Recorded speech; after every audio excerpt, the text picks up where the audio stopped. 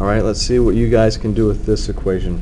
Solve 2 fifths x plus 1 15th equals 3 fourths x minus 17 over 20. Just like the last problem, we need to identify the LCD. Can you identify the LCD in this problem? Or is it just a little bit more complicated? When you're trying to find the LCD, there are a lot of different ways we have about finding that. One of the things that I do is I start with the largest denominator, which is 20. You know that your common denominator has to be a multiple of 20.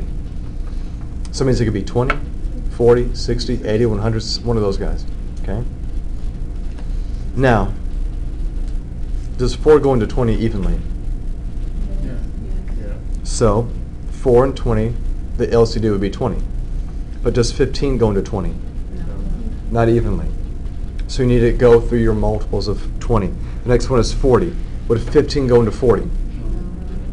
No. Go to the next multiple of 20, which is what? 60. Does 15 go into 60? 15 goes into 60. Since 4 went into 20, you know 4 goes into 60. Does 5 go into 60? Yeah. Mm-hmm. Your LCD is 60. So guess what I'm going to do with that? Multiply everybody by 60, and if it makes you feel better, you can do 60 over 1. That might do better for you.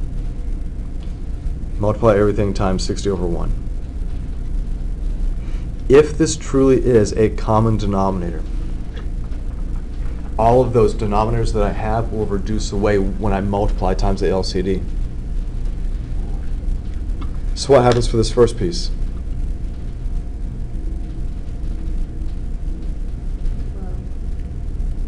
Five goes into 60 12 times, so what does this whole term, what does this whole thing give me? Twenty-four X. It gives me 24x. And then what about this guy? 4.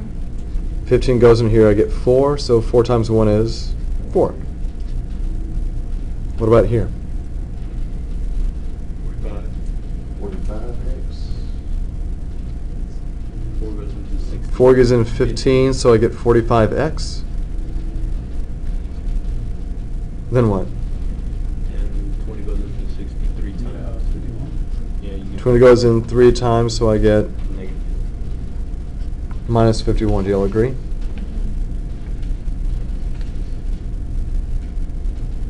Okay. Now finish solving this. What are you going to do? Where do things go?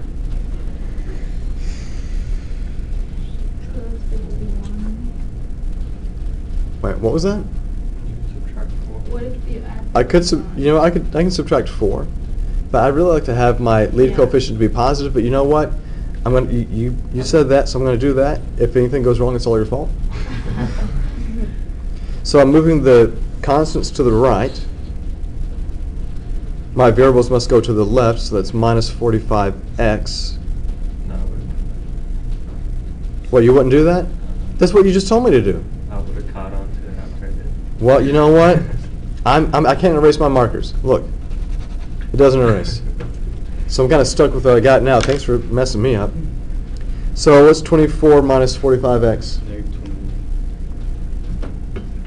Negative 21x equals what? Negative. Negatives all over the place. You know what? I'm feeling pretty negative myself. So what do I do now? Negative twenty-one Five. on both sides. Divide by negative 21. So what does x equal? Fifty-five. Positive, right? Negative divided by negative is positive.